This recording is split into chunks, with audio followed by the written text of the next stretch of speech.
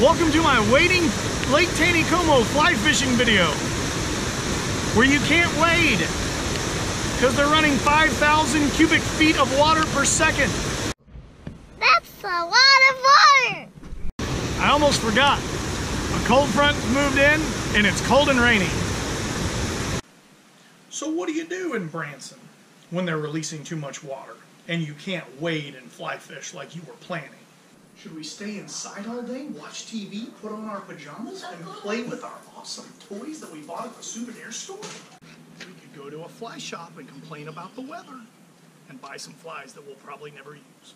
Should we go looking for wildlife like majestic white-tailed deer? Maybe we brush up on our free throws. Take two. Maybe we brush up on our free throws.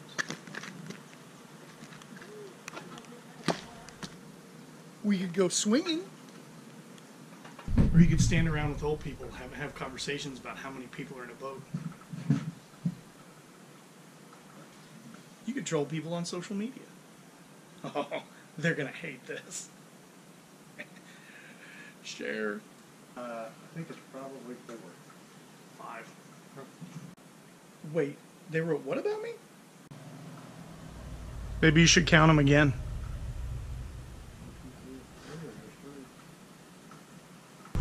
You could hug your dad.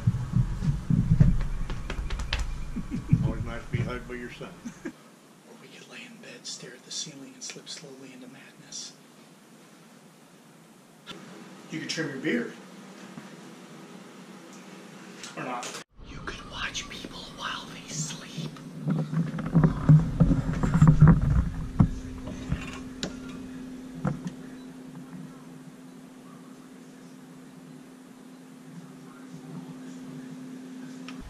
Or we can make the best of a bad situation. We can't wait.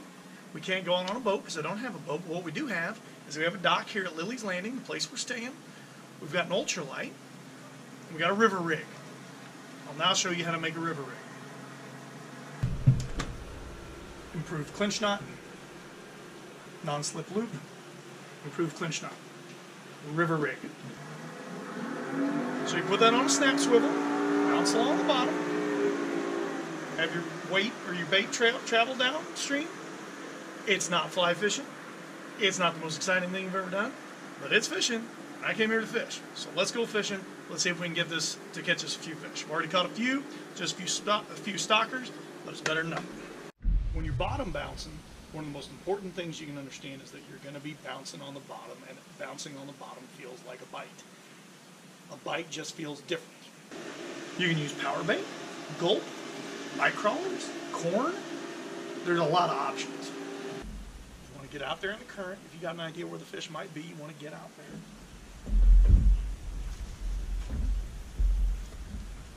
You're going to bounce along the bottom. See if you can watch my rod tip bounce along the bottom. It's going to look like a bite. It's going to feel like a bite. It's not a bite. It's just bouncing on the bottom of the lake. See my rod tip going crazy. It's just bouncing on the bottom. It takes some getting used to. It's just bouncing on the bottom. Bouncing on the bottom. Oh, oh, oh. Bouncing on the bottom. Is that one? Nope. Bouncing on the bottom. Is that a bite? Nope. That's right. And bouncing on the bottom.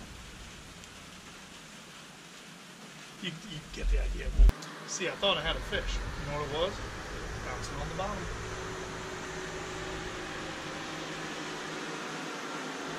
Hey, if you're not setting the hook when you shouldn't, and if you're not losing gear, you're not bouncing on the bottom. Don't be surprised if people ask you, what are you doing? You say, I'm bouncing on the bottom. Don't go crazy. I won't go crazy, Dad. You feel it? Yeah. Uh, Hey, hey, hey, slow down, slow down. It's only two pound line. oh, no. So I'll- it must be two pounds. Still feel it. there he is. Okay, slow down. Slow down. Hold on. Don't hit the neck. Okay, guys. You got yourselves one, I. Oh. And I can't keep them still. It's all right. No, you're fine, you're fine, you're fine, you're fine. I caught him bottom bouncing.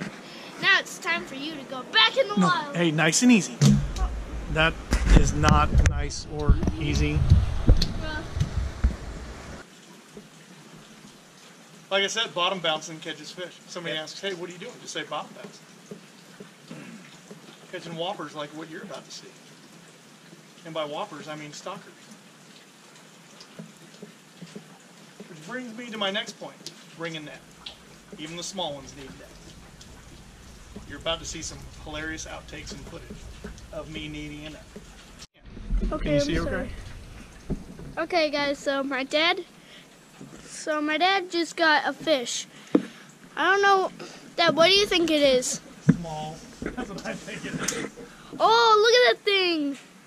Dad, I mean, no. Did you get that on video? Yeah. There you go. Bottom bouncing. Bottom bouncing? Bottom bouncing. Here's another piece of advice. Make sure you have a good system to keep your fish that you catch if you are catching and keeping. Because I just fed an, uh, a family of otters a limit.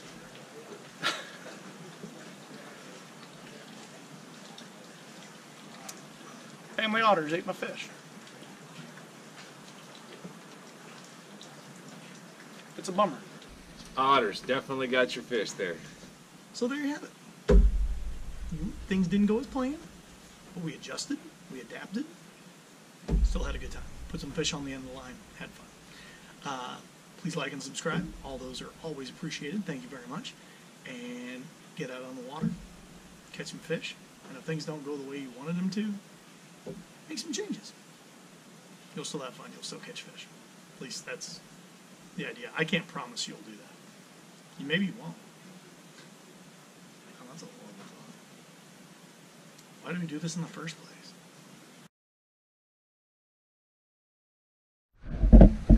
Okay, guys. So here's the dad of the Show Me Fly guy. I'm the dad of the Show Me Fly guy. Of course you are. You're the fly grandpa, I guess. Yep. Dad, what do you have to say about yourself for uh, the fish getting off? That's my fault. I Should have netted it.